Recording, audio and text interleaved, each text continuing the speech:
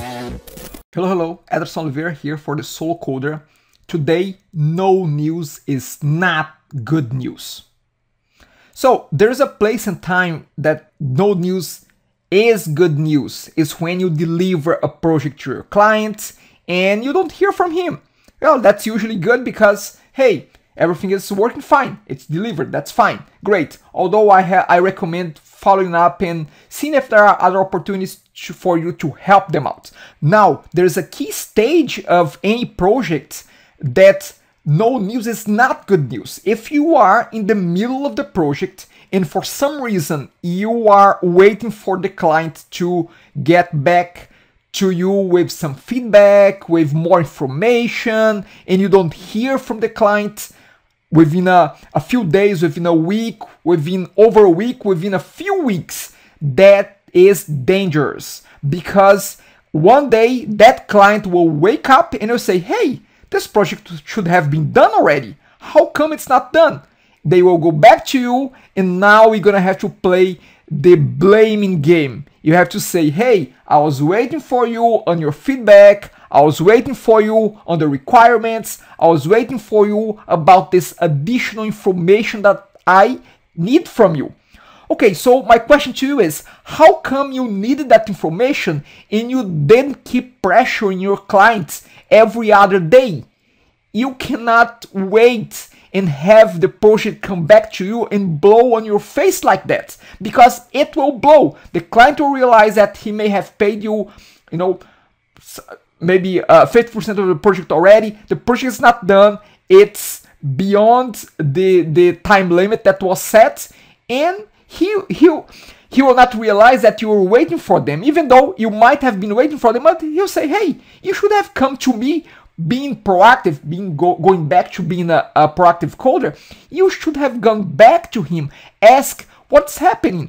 Things are for some reason we are delaying the project and we are missing those key information key key elements here on the on the project. So again you have to be on top of the client. Now don't don't bury the client with too many re requests or too too much stuff for them to do. But keep them in line and know that their input at some point in the project might be essential for the project to keep moving forward I'll bring it back to me just about two weeks ago.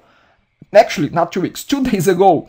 I went back to a client of, of ours saying that, hey, I think that this project is getting is getting sidetracked. I don't hear from you. I don't I don't hear your feedback here for us to move to the next phase. What is happening here? I think that we should do one, two, three next week to get things back on track. So I went proactive on the clients. I didn't wait for him to come back to me and say, hey, what's going on? Now I have to remind him that I was waiting for him. No, that's not a game that you want to play. Bring him back to me again.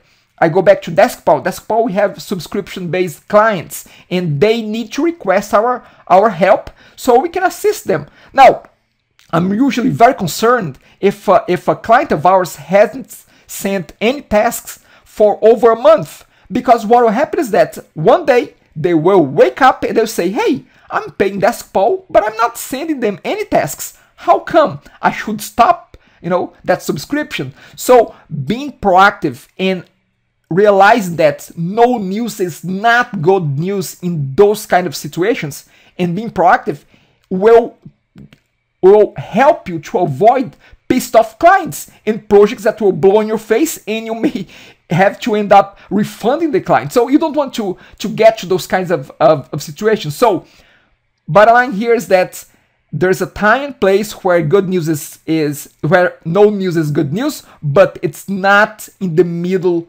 of a project. In the middle of a project, you need to have news. You need to keep communicating. This goes back to frequent communications with your clients. That's it for now. End of this ramble. Slack peeps, I keep talking. Question for you coders out there. What do you do when a client goes cold on you? They don't reply to your emails anymore. You are in the middle of the project. What do you do about that? That's it. Slack peeps, I keep talking. Have comments, questions, concerns. This is BS. This is not BS. This is useful. This is not useful. Comment here on the YouTube channel as well. That's it for now. Thank you very much and bye.